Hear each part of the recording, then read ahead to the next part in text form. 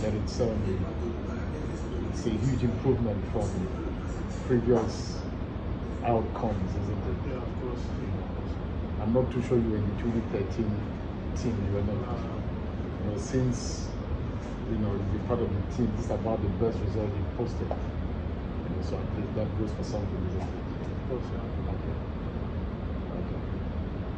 You I'm aware of some something that's going on in social media.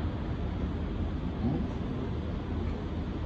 Well, me, I've taken myself off social media, so I'm not aware of all this. Okay, you're not aware of what's going on. When did you take yourself out? Recently? Um, after the after yesterday's game. Okay, after yesterday's game. Yeah. Okay. Things came to an end, I I understand. Yeah. So, as a ministry, I mean, we, it's not the first time, but we're going to make another statement, you know, against, you know, the kind of bullying that not just you, but sportsmen and women are exposed to because of outcomes of competitions. I mean, we are we're very concerned about how our sportsmen and women are treated. Um, we that um, when I couldn't come for the Kingston match, wrote a personal letter which I addressed to Ahmed Musa and all of you.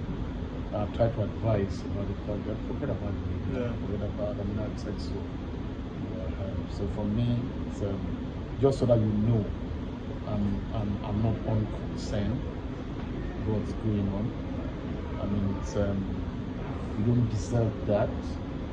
I mean, you've been here for close to 40 something days for love of country. You could have as well said you're coming.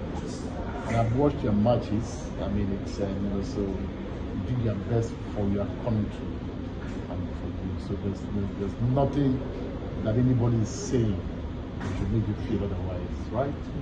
You know, I mean, I'm very proud of you. I believe that the rest of the country is.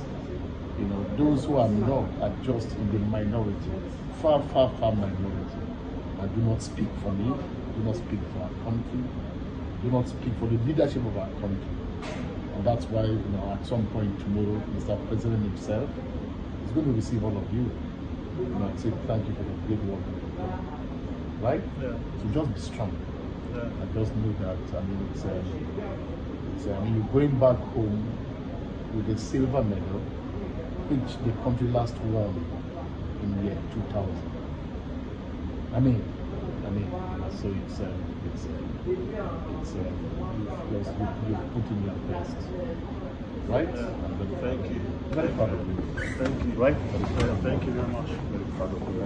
Thank you. Let me share.